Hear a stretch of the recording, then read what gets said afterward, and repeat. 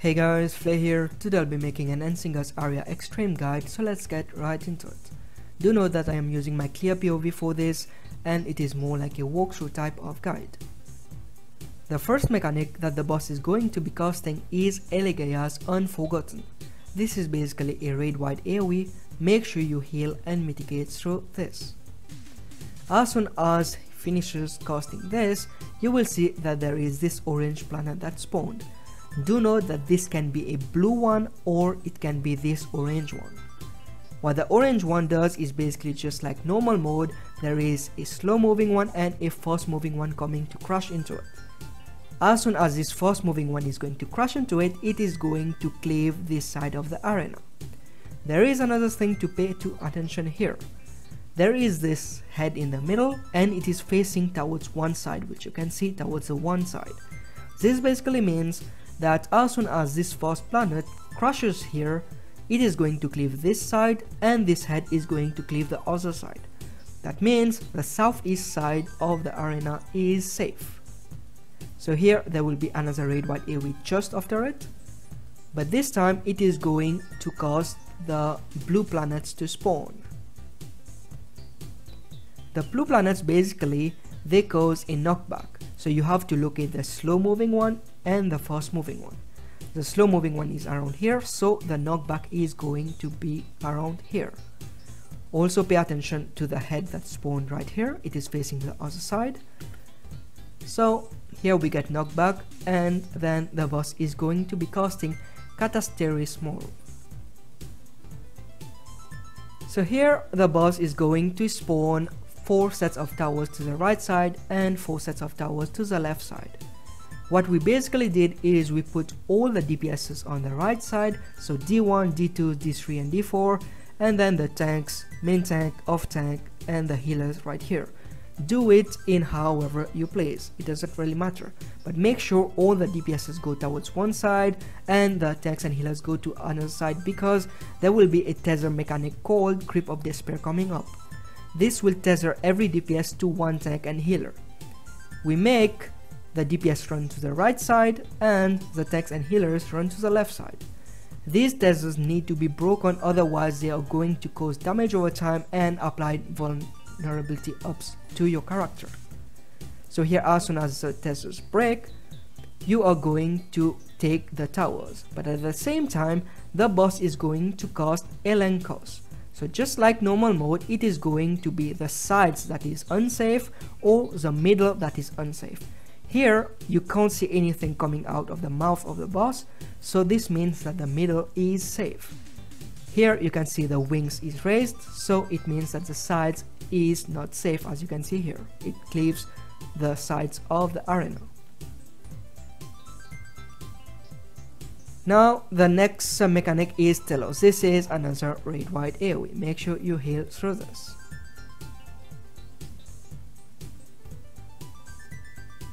Right after this, the boss is going to cast Hubris. This is a tank buster. Make sure that your tanks are away from the group. Now important thing here. You have to make sure that your tanks are number 1 and number 2 on the aggro list. If not, the second person on the aggro list is going to get the tank buster. So here, just make sure that your tanks pop your mitigations and here's roses. After this, the boss is going to cast another red white AoE.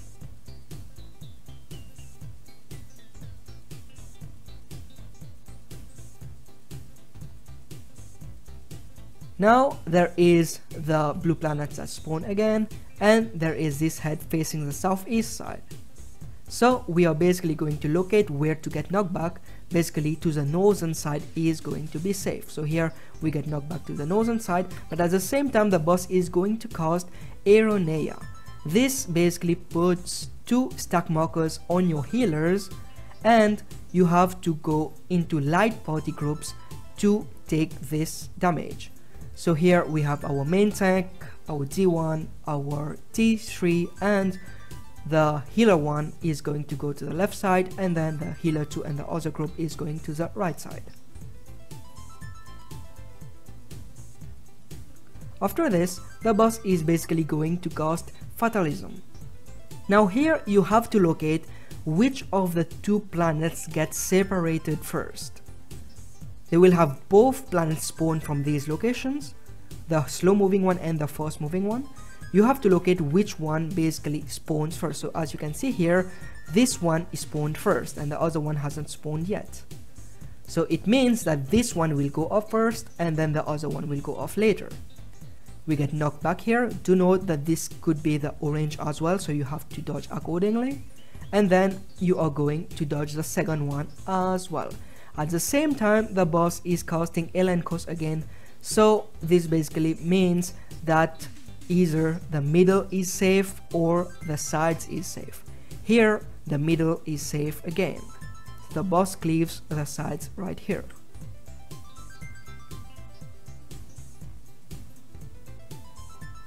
Now the boss is going to cast Twin Songs Aporhoya.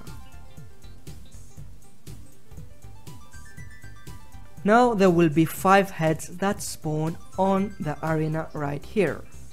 You have to locate where the safe spot would be. So here you can see that this middle head is facing to the right side this means that 1 and 2 is unsafe. 4 and 3 is going to be the safe side. One of them will be safe, so just move to there. You have time, make sure you move on the safe spot. So here as you can see, the boss is going to cast Aporrhoia Unforgotten and this spot is going to get cleaved and this is a safe spot. Now this always goes clockwise, so if it started at 3 here, it's going to go from 3 to 4 and then into 1. If it started like 2 for example, it would be 2, 3 and then into 4. As you can see here, 3 goes off and then we move towards 4 and then we are going to be moving towards 1 you just have to look at the first three safe spot to determine the final safe spot here. So here this goes off again. But now you will see different rings on each of these. What it basically means is, as you can see here, this middle one is the most important to locate first. The middle one is facing the left side. If there is one ring onto it, it means that it is going to stay on the left side. This basically means that the safe spots are going to be either 2 or 1. In such cases, the safe spot would have been at 1. Now, why is the safe spot as 1? The reason is we started at 3 into 4 into 1. Now, if the boss basically means that there is 2 rings, it is going to rotate anti-clockwise one time. Just like in the video, it has two rings. It basically means that this side posing to the left is going to face downwards. This basically means either the four side is safe or the one side is safe. If there is three rings onto the middle one, it is basically going to do a 180 degrees from where it is facing. So in such case, if it was 3, instead of facing to the left, the final one would have been to the right then it would mean that 4 and 3 would be safe. So you have to locate which one is going to be safe here. As you can see here, these two on the south side is not safe. So 3 and 2 is not safe. Now you have to locate which of the ones is going to be the safe one. The 4 or the number 3. Now, this fourth one was not the number 1 this one basically means which of the safe spot AoEs it was. The first one was number 3, so there is going to be a safe spot here, but also since the boss is going to be cleaving here, I mean the head, this spot is not going to be safe. So this one was not the first, so automatically this first ring is not the safe spot. This one could have been safe and this one could have been safe. The one here is a safe spot because it has three rings and it was the third one that we went onto. As you can see here, this goes off and at the same time the boss is going to cast Elenchos but we are going to have the light party stacks again. So here we are going to go to the sides as the middle is not safe as you can see here the boss is basically casting something from her mouth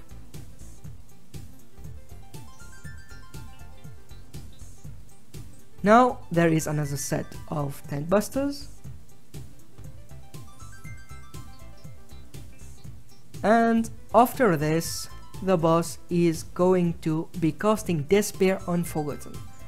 Now for this mechanic, there is some sets of things that you need to know here. There will be either flares, there is going to be stack marker, or there is going to be spreads on everyone, or there will be round donut AoEs that are basically dynamos just like Nael. As you can see here, I have the stack marker, those ones have the flares, and these ones are basically going to do a dynamo into which the middle is safe. What you have to do here is for the first set, it doesn't matter what you get, just make sure that into the middle one, you have your stack marker and these dynamos stacked tightly. As you can see here, these flares go off, the dynamos goes off, and the stack marker goes off as well. Make sure you heal and mitigate this. There will be the second set of Despair and Forgotten again. This time, once again, there is a different sets of markers. This time I got the flare, so I'm going to be moving away from the group. Now, at the same time, after the second one goes off, the boss is going to be casting one Elenchos. This one was basically the sides unsafe so I move into the middle. Make sure to always look at the boss here. Here on the first day I wasn't looking at the boss, I just followed everyone, but you have to make sure that you continuously just look at the boss. And then after this, there is going to be the third Despair Unforgotten. This one is going to have a spread onto everyone. Make sure everyone spreads accordingly. Now, right after this, you will see that this boss caused Theological Fatalism. You are going to have these rings onto your characters. So there is the one ring, the two ring, and the three ring. The three rings basically means the first mechanic you got. The second ring basically means the second mechanic you got. While the first ring basically means the last mechanic you got out of the three previous mechanics. Now here you will see I did a mistake because I had the stack marker first but I went away because I thought that I had the flare. So here as you can see as I had this one on the third so I basically got killed here. After that, the boss is going to cast Telomania. This is a multi-hitting raid-wide AoE. Make sure you heal and mitigate through this. After she finishes hitting 3 times, there is going to be another raid wide which is going to apply a bleed. Make sure you shield and mitigate through this. Once this is done, the boss is going to be casting Endsong's Aporrhoia. Now there will be many heads that spawn onto the arena. To dodge the first one, you have to look upwards to the boss. Here, I followed my teammates on the first clear. I wasn't sure quite where to go on the first one. So here, there will be little bubbles that come onto the arena. And there will be one side that does not have a bubble. Make sure to look at the boss up here. You will see that there are these bubbles that coming up here as you can see here. was one. So here we are going to run away because there was no bubble towards this side.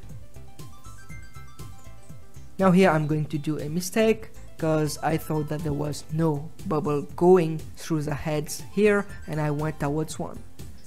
This only applies a one up with minimal damage so make sure you don't stand on all both of these AoEs just standing on one of them is still fine. You will take a damage fallen up and you're going to get hit for a bit of damage.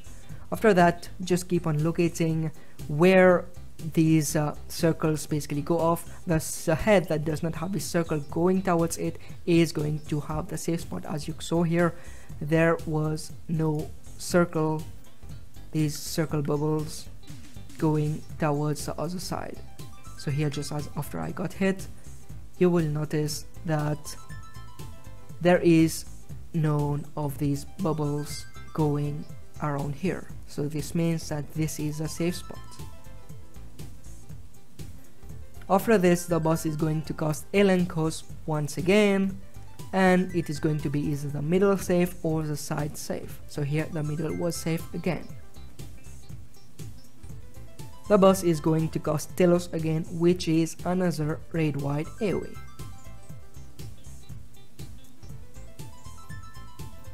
Now there is another set of tank busters, make sure you heal and mitigate throws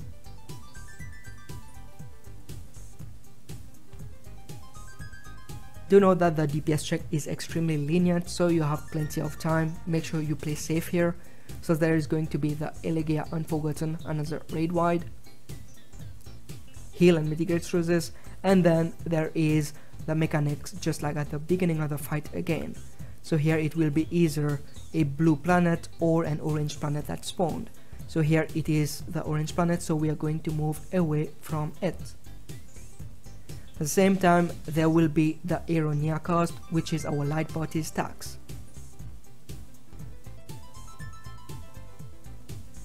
So here the boss is going to be casting Fatalism one more time. But now however there are going to be four of them. So just like before locate which one has two planets spawn from them first. So as you can see here there are the orange planets that spawn from this one. This basically means we have to go directly opposite from it to dodge this. The second one gets separated here and we dodge the first slice and then there is a second one that goes off. We go directly opposite from it and then the blue ones come up. Now do note that this could be into the reverse manner as well. It could be the blue ones first into the orange one. So here we locate where the third one is. We dodge it and get knocked back and here we get knocked back to the fourth one. And at the same time there is our towers that come off. Make sure to dodge the alien coast that is coming up as well. As you can see here it will be either the middle safe or the side safe. Since the boss has the mouth glowing here the middle is unsafe. So we are going to stand to the sides. As you can see here someone died and they did not stand onto the tower. This basically caused us to get vulns up and we took damage from it after this, there is the Telomania cost, the huge raid wide, make sure to heal through this and heavy mitigate this. Now, this is almost the end of all mechanics of this fight. It is going to be a repeat of all mechanics from here on. The next mechanic is going to be the 5 head that spawn again. So as you can see here, the boss casts Twinsong's Aporrhoia and the 5 head basically spawns. Now here this head is facing the south side. This basically means that the 4 and 1 side is going to be safe. So here as you can see there is also the 2 spot that is safe but since this head is facing south this spot is unsafe so we go to 4. From here on we dodge clockwise so from 4 to 1 to 2. We let the mechanics go off Do know that the DPS check is very lenient, so make sure to play safe and go for the clear here. Now here, this head is facing the north side. And we have to now check how many rings it has. So just like before, it has two rings. This basically means that the northern side is going to be rotating anti-clockwise towards the west side. Now, where were the safe spots? They were at 4, they were at 1 and they were at 2. There is one ring here. This means that 4 is still a safe spot. But since this is going to be rotating anti-clockwise one time towards the west side, it is going to cleave here. So the 4 safe spot automatically becomes unsafe. This one also has one ring. However, it is not the safe spot as it was not the first spot that went off. So as you can see here, this automatically makes the third spot that is here that has three rings safe. So here as you can see this cleave goes off to the left and all of these get cleaved and here we have the boss costing another set of Elenchos basically the sides would have been saved but here are L and the fight ended. Thank you guys for watching. I hope this video was helpful to you and i'll see you guys next time